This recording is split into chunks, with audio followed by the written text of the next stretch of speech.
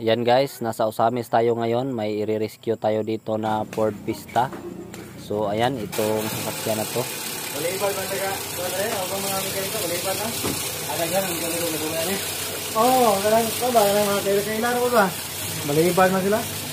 Oh, napahinuan na ning kuwan ni, yang yang kay injector niya. Ada gani, malipad na sila import. Unlock na sila. Wala na akong i-down karon ng unit. Ang Ford 150 ni lagi. Ayaw niya. Silindir. Kalat kagayan. Kung ayaw kagayan, bumutang ito. Silindir, giuli.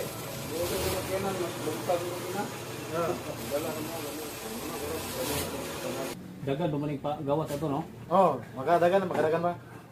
Ako lang cheta nga dal-dalon dalon ko. So ayan guys, ah, dinala na namin dito sa shop yung sasakyan kasi hindi talaga kayang ayusin doon sa bahay ng may-ari. Ngayon ay idadiagnose natin kung ano ba yung ah, dahilan bakit walang RPM ko. So ayan, tingnan natin dito.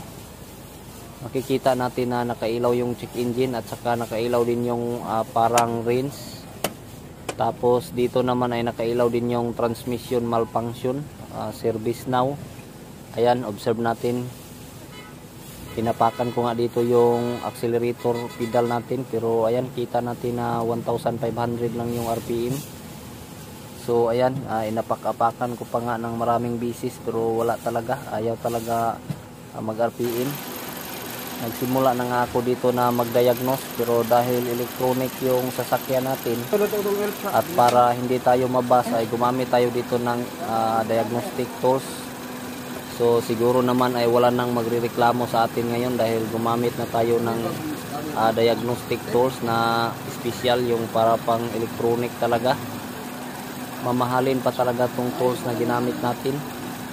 So dito nga ay na-detect na cylinder number 3 yung may problema at saka itong cylinder number 1. So ayan, uh, tingnan natin yung code pagkatapos ko nga sa engine ay dito naman ako sa transmission. Dahil nagmalfunction tong transmission natin.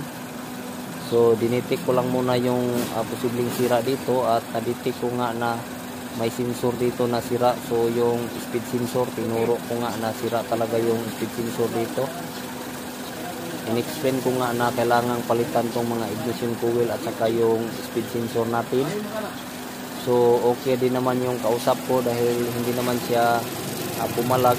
Uh, okay naman daw yung diagnostic tools natin na ginamit. So uh, accurate naman daw. Pagturo naman ng tama.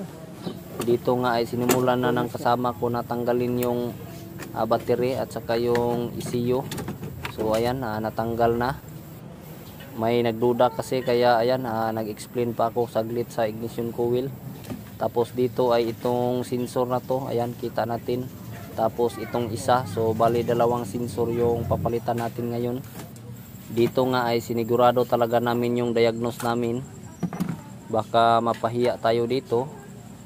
Nung nagdiagnose nga kami ay uh, hindi naman kami nahirapan. So medyo nagtaka lang talaga kami bakit hindi to na-diagnose nung mga unang tumingin dito pinagtatanggal ko nga yung mga sensor na tinuro ng diagnostic tools natin. At tiningnan ko nga ng mabuti bakit tinuro to na okay naman. Wala namang uh, makikita na biyak. Hindi naman siya nadurog. Tinanggal natin yung mga takip niya dito. So ayan. Kita natin na ayan nasunog siya dito. Yan parang nabiyak. Dyan dumaan yung kuryente. Yan makita natin sa loob yung ayan na kulay puti. Kaya nag misfire yung cylinder natin. Tapos ito namang isa nakita natin mayroon din parang nabutas. Tapos dito sa loob ayan makikita natin yung kulay puti na yan. Dumating na nga yung spare parts na binili namin. Titingnan lang muna natin kung tama ba yung mga parts na dumating. So ayan uh, speed sensor saka itong isa ay medyo mataas ay speed sensor pa rin yung pangalan. Tapos yung ignition coil natin so ayan ito lahat yung mga parts. Nandito na yung mga sample natin so same lang. At ito namang ignition coil so tatlo yung uh, pinalitan natin so same lang yung mga uh, nabili natin. Di na nga pinatagal nung kasama ko at ah, kinabitan niya yung ignition coil.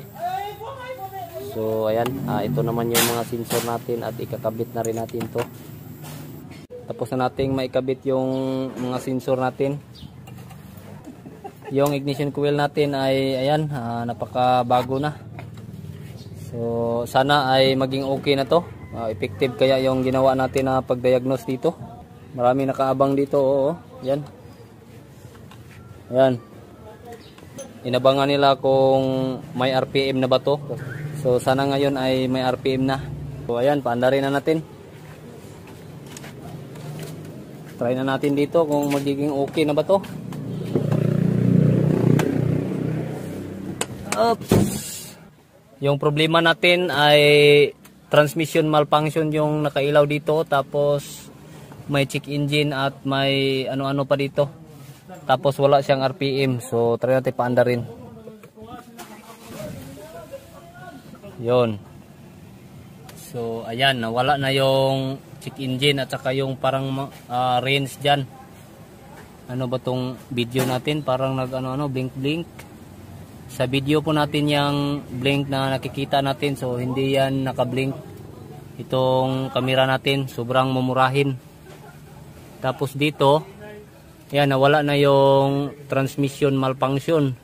Parang nakapagtsamba na naman tayo ngayon ah. Try nating RPM. Ayun. Ayun.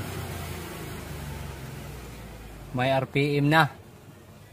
Yan, kita ba ninyo yan? Ayan. Grabe naman tayo mag-diagnose. Parang effective talaga yung gamit natin na ah, diagnose tester ah. Yan, so dito ay nagro-road test na nga kami. So, yan, tingnan natin kung okay na ba yung sasakyan natin patakbuhin. Ha, dito nga ay tinry ko na ibaon yung accelerator saglit kung aabot ba ng ah, 120. So, ayan, nakita natin na umabot naman. So, ibig sabihin ay okay na yung ah, sasakyan natin. Guys, kita nyo yun? So, okay na yung unit natin.